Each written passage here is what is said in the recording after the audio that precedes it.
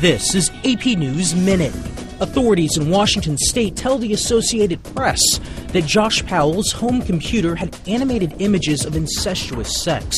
The detective says the images prompted the recommendation that Powell undergo an intensive psychosexual evaluation before he blew up his house, killing himself and his two sons.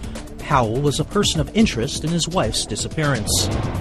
The sexual abuse case involving former Penn State assistant football coach Jerry Sandusky goes to court today. Prosecutors are expected to argue that jurors should come from outside the local area.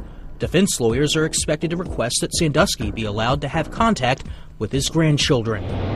The U.S. military says members of a Marine sniper team will not be punished after they posed with a flag resembling the World War II Nazi SS symbol.